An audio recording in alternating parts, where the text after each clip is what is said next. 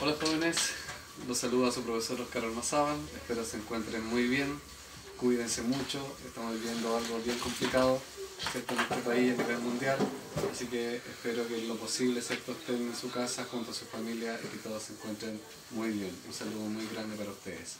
Ahora, a continuación, les voy a dejar la explicación y las instrucciones con respecto a la guía número 7. Aquí va. Bueno jóvenes, acá eh, les voy a entregar ¿cierto? las instrucciones para la guía número 7, propiedades de las potencias. Si ustedes pueden ver en la parte superior izquierda de la guía, se encuentra el correo ¿cierto? en donde ustedes pueden hacer las consultas correspondientes, oscar.ormazabal.liceo-franciscotello.cl Horarios de atención que también tengo para responder esto es jueves y viernes de 12 a 18 horas. Eh, bueno, y aquí está mi nombre y la asignatura. El objetivo de esta guía es aplicar las propiedades de las potencias que involucren la multiplicación y división. Lean atentamente la explicación y luego resuelve los ejercicios ocupando el espacio indicado en cada ejercicio y plantea su desarrollo. Bueno, acá contextualizo un poco las potencias en la vida cotidiana.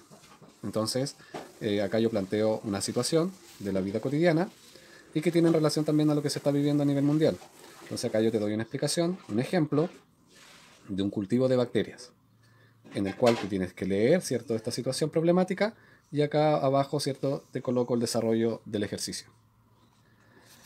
Luego, en la parte de abajo, en el estudiemos ahora, las propiedades de las potencias, salen todas las propiedades, ¿cierto?, con su respectiva definición y su respectivo ejemplo.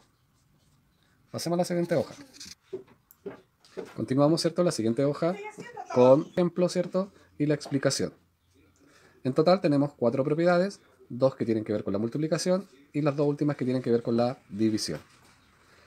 En las actividades, ¿cierto?, que tenemos que están desarrolladas y que tú las puedes observar y ver cómo se realiza cada una. En la primera parte tenemos un cuadro en donde se plantea el ejercicio, aplicando la propiedad y el resultado de la potencia. Así como puedes observar, está este cuadro completo para que tú puedas ver de qué manera se han desarrollado esos ejercicios. Lo mismo, de acuerdo ¿cierto? a las propiedades de las potencias, acá yo planteo ¿cierto? una tabla en donde hay una igualdad y un valor de x que debes encontrar. Solamente tienes que observar el ejercicio que está resuelto y ver el resultado que corresponde. Y en la tercera parte coloco un ejercicio que donde tú el cual tienes que aplicar las propiedades de las potencias que ya viene resuelto. En la parte final, que sería la práctica independiente evaluación, acá, ¿cierto? Tú tienes que desarrollar estos ejercicios tomando en cuenta los ejemplos anteriores. Entonces, cada ítem tiene las tablas similares a lo que ya vimos, ¿cierto? Para que tú puedas ir guiándote y desarrollando cada ejercicio. Así también ocurre en la siguiente hoja. Vas a encontrar un segundo ítem y un tercer ítem muy similar a lo que ya habíamos visto como ejemplo. Y así tú te podrías guiar, ¿cierto? Para poder ir desarrollando. Y finalmente, en la última hoja, encontrarás el ítem de comprensión lectora.